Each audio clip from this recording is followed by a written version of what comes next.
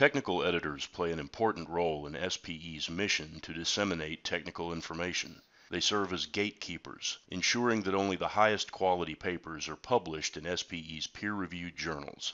The objectives of this video are to help you, as the reviewer, learn the basics of how to evaluate a technical paper, understand what is expected of you in your role as a technical editor, and familiarize yourself with the SPE review process. SPE publishes five discipline-specific journals. SPE Drilling and Completion, SPE Economics and Management, SPE Production and Operations, SPE Reservoir Evaluation and Engineering, and Oil and Gas Facilities.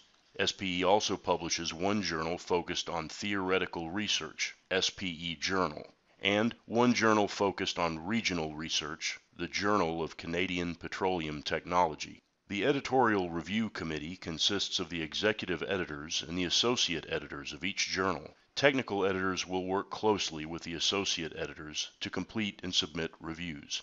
The editor in chief is the leader of the committee and has oversight of all peer reviewed journals. The peer review process involves the following steps. 1. An author submits a paper to a selected journal for peer review. 2.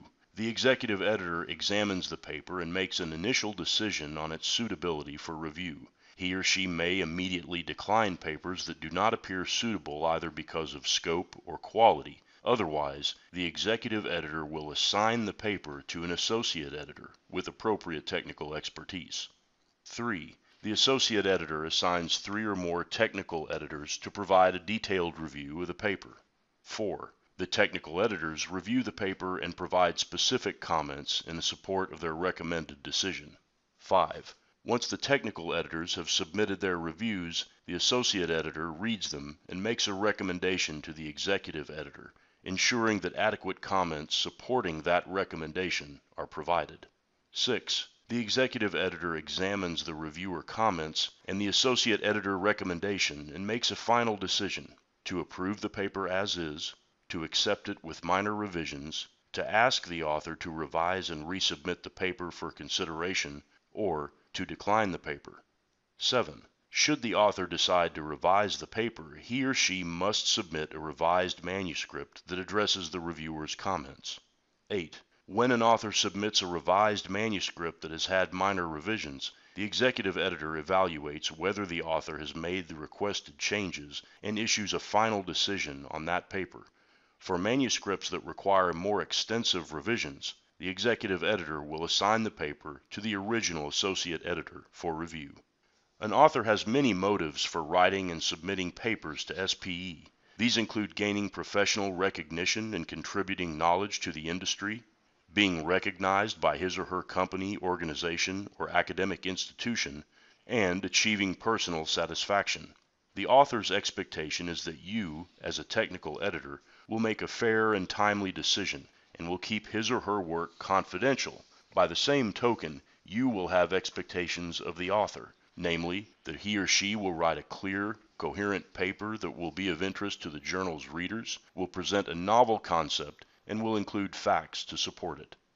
As a technical editor, you should have a number of qualifications, including a broad understanding of current technologies in your discipline. You should also be active in your field, have past technical accomplishments and past experience participating in symposia or conferences, have experience as an author yourself, and be willing to spend time supporting the SPE review process. You will have multiple responsibilities during your time as an SPE technical editor. Technical editing requires strong organizational skills and sufficient time to read, acknowledge, and answer emails and meet review deadlines. If you cannot meet a deadline, notify the associate editor as soon as possible so the paper can be reassigned.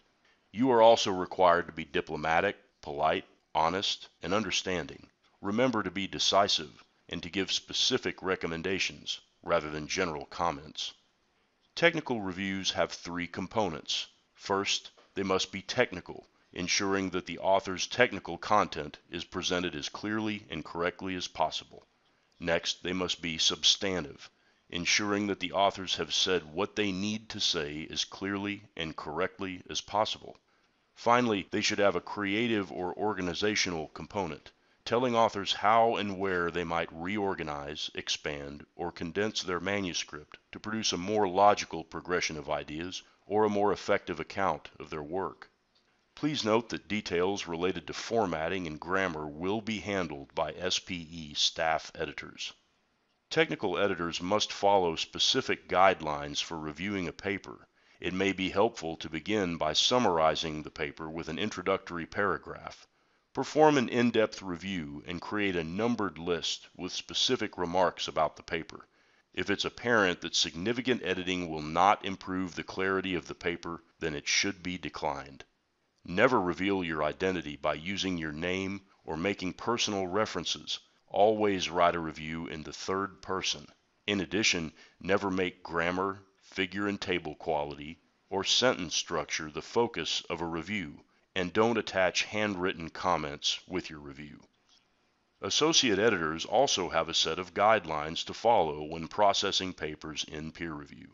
If you are an associate editor, you must evaluate each technical editor's review by rating it for timeliness and quality. Follow the same guidelines as those used by the technical editors for preparing your associate editor review or summary. Refer only to specific remarks by the technical editors. Do not compile their answers.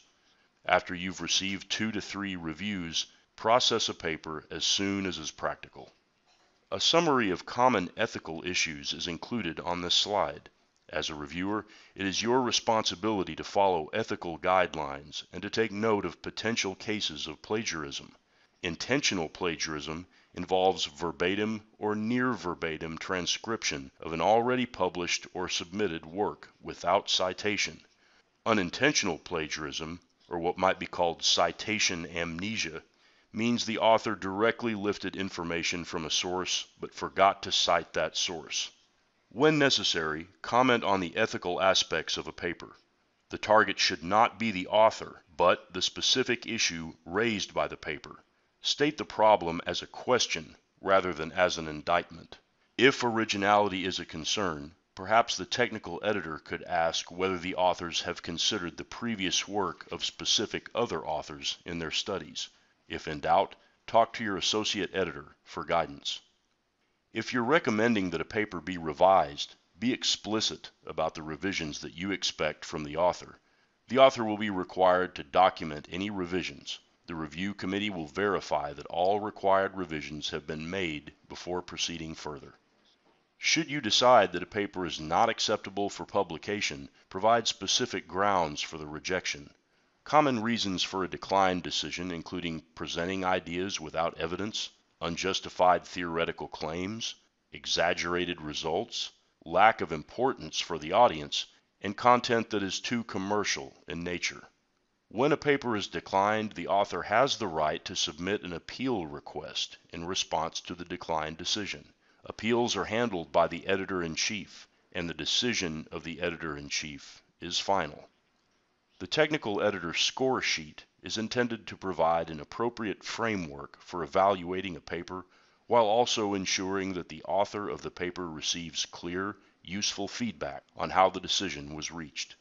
The key areas on which a paper is evaluated are originality and significance, technical content, and ease of understanding. A video explaining the score sheet can be found at the following link. You may view some examples of good review comments in the following slide. Should you need any help along the way, multiple resources are available at the following link in the peer-reviewed journals section.